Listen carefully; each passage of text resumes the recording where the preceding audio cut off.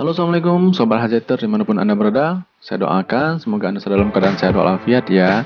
Nah di sini kita jumpa lagi di Hanzala. Kita akan membahas bagaimana cara membuat thumbnail menggunakan Canva ya.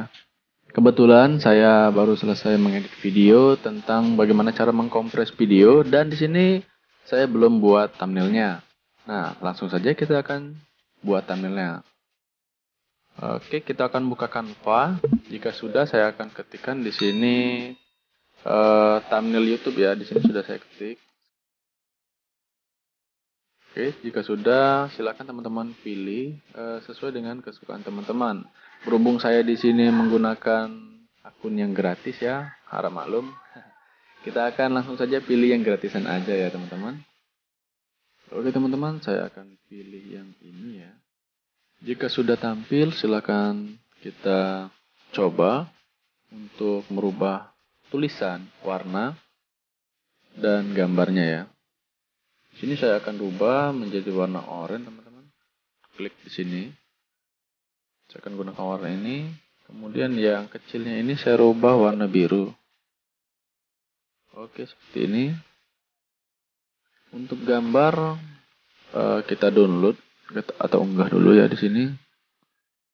Uh, unggah media, saya akan masukkan bahan handbrake ini. Oke, jika sudah dia akan tampil di sini ya teman-teman. Nah, jika sudah, saya akan coba tarik ke sini. Nah, seperti ini. Untuk tulisan kita bisa rubah di sini ya. Ini akan saya rubah tutorial.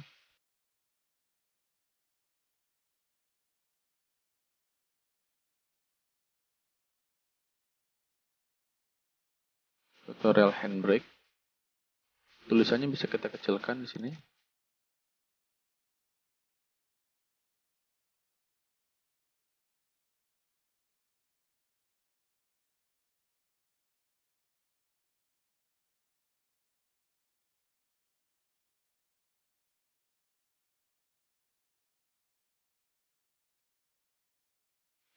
Untuk modelnya saya pilih rata kiri.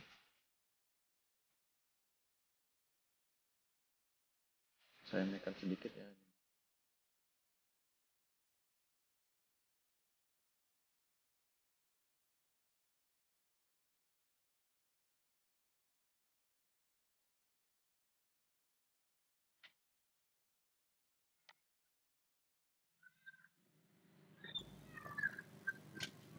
Saya akan masukkan lagi tulisan yang ini.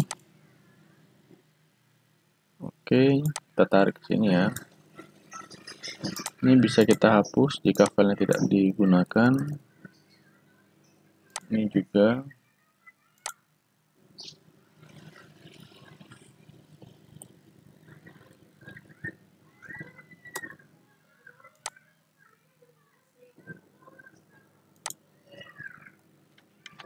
yang di bawah ini saya akan rubah ya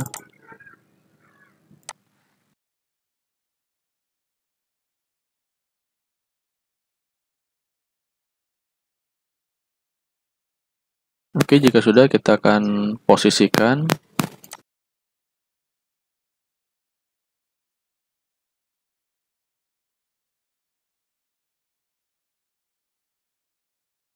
Yang tidak perlu bisa kita hapus ya teman-teman.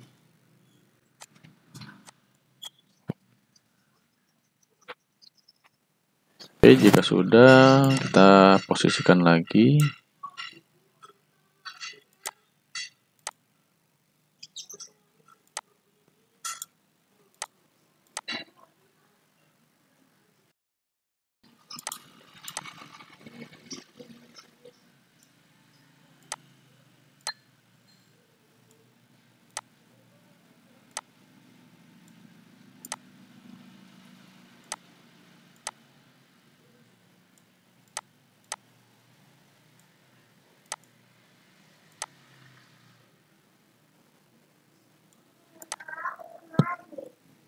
Nah, jika sudah, teman-teman silahkan di sini klik unduh.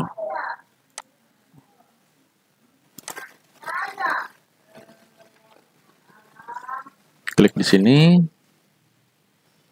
Tunggu prosesnya sampai selesai ya. Jika sudah dia akan timbul seperti ini dan kita tekan OK. Dan filenya pun sudah jadi. Oke teman-teman, sampai di sini dulu. Semoga tutorial ini bermanfaat. Jangan lupa bagi Anda yang belum subscribe, silahkan subscribe. Dan kami akhir. Assalamualaikum warahmatullahi wabarakatuh.